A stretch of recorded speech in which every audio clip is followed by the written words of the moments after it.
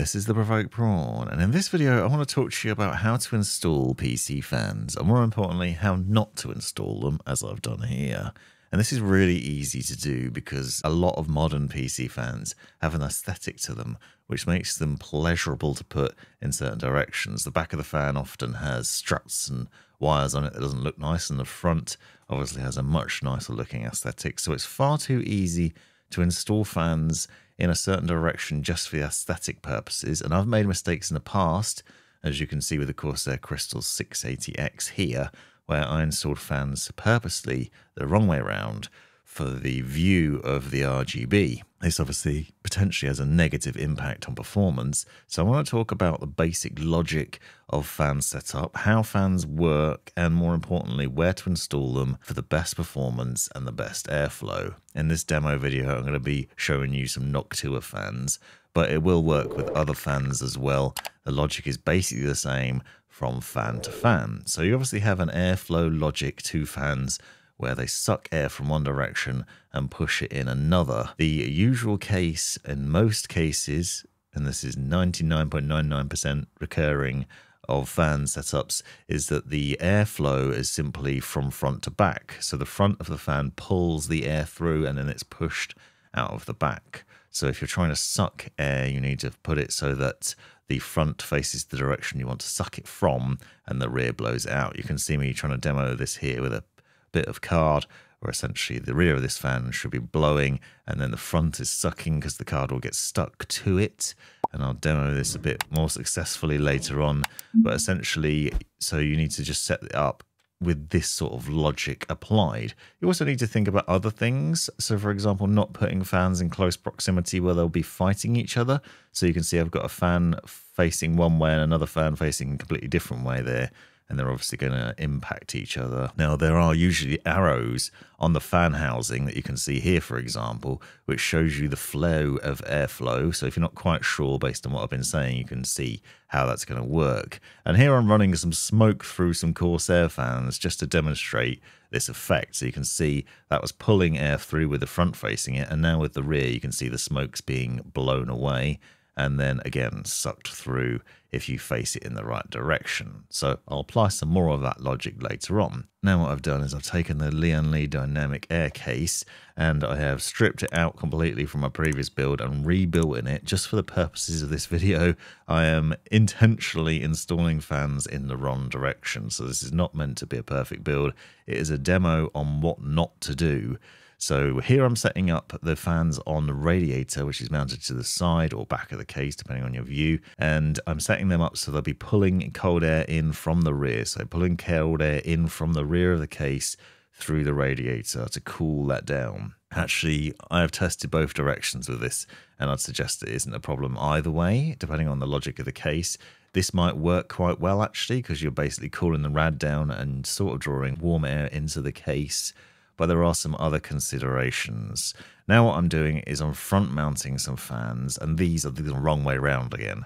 So usually with front mounted fans, you want to install them so they pull cold air into the case and basically then blows that across the, your GPU and your motherboard and then exhaust out of the top and the rear. But I'm doing completely the wrong logic here because I've installed intake fans on the top and then exhaust fans on the bottom and the front. And I basically have it set up so that it's pulling air in from wrong directions and blowing it out in other ways. So here we've got basically cold air is being sucked in through the radiator, but is then being blown out immediately by the front fans and the bottom fans and the top fans are set to intake. Now, naturally, hot air rises, so you want to try and follow that logic. So, essentially, you don't want to do this. You can see that I've got exhaust on the front and the bottom, and then intake on the side and top. Logic says that that way I'm now trying to force the hot air that's rising downwards and also the cold air that could potentially be pulled in out and so I'm basically fighting the logic of how physics works and, and, essentially making life a bit more difficult. I am, however, potentially pulling air from above the case onto the RAM and onto the CPU cooler. So it could still work in some ways, but this is not optimal. So this is not the way to do it. this performance won't be as good as it could be because heat's naturally going to rise from the CPU, from the motherboard, from the RAM, and from the GPU, as you'll see in a minute. And so we're fighting all of that logic, and the fans will have to work harder for it. Now, if I set the smoke machine up at the front of the case and try and blow air into it, imagine that this is cold air trying to go into your case. You can see the front of the case is now blowing that cold air away from the machine, and the bottom fans are also doing the same. So rather than sucking cold air up into the bottom, it's being blown away. So that is obviously not ideal. Now, you wouldn't want smoke going into your PC, but you would want air going in there, and now it isn't. Once I've got the GPU mounted, there's basically no cold air blowing onto it from below or from the front, which is not ideal because most GPUs operate with the fans below, pulling air onto them and then exhausting it out of the rear where the connectivity ports are you can see that in this setup, I do have some intake, but it's basically the opposite way around to what it should be. And no matter what direction you try and send the air in, or in this case the smoke, it's getting blown away from the components that need the cooling. Also, in this position with this setup, I am essentially making the GPU and the case fans fight each other. So the graphics card fans are trying to suck cold air in, but the fans on the bottom are also sucking it out.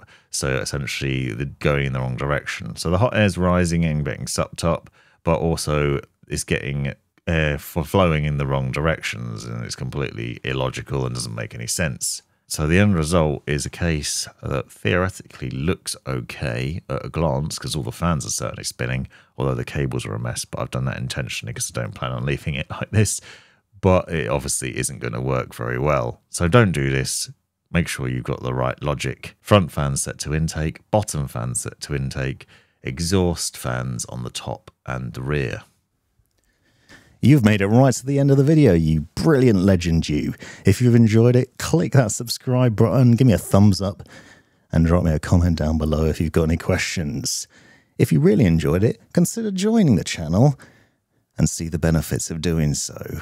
Check out these other videos, you might well find them interesting or useful, and most importantly, have a great life.